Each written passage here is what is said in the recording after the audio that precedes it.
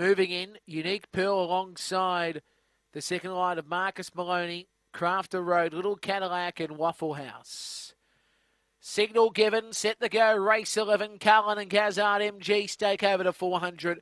Set, ready, racing. Unique Pearl began nicely from the inside. A little Cadillac showing good speed from Waffle House in third. Marcus Maloney and Crafter Road goes by it. Down the side, Unique Pearl leads by about seven, make it eight lengths. On Waffle House in second, then came Crafter Road. On the outside, Marcus Maloney and Little Cadillac. Homeward bound, it's too good here, Unique Pearl. Unique Pearl wins. Second spot goes to Crafter Road, who got by Waffle House in the last stride. In fourth spot will be Marcus Maloney. Little Cadillac back at the tail, 23 and 10 the trip.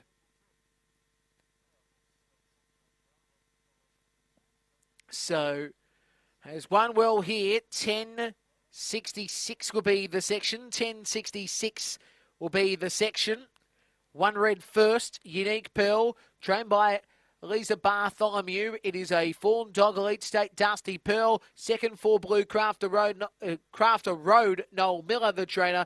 A Black Dog, My Redeemer, Black Pontiac. And third, going to the eight pink, which is Waffle House, trained by Jason Newman, Black Dog, Barshabal, and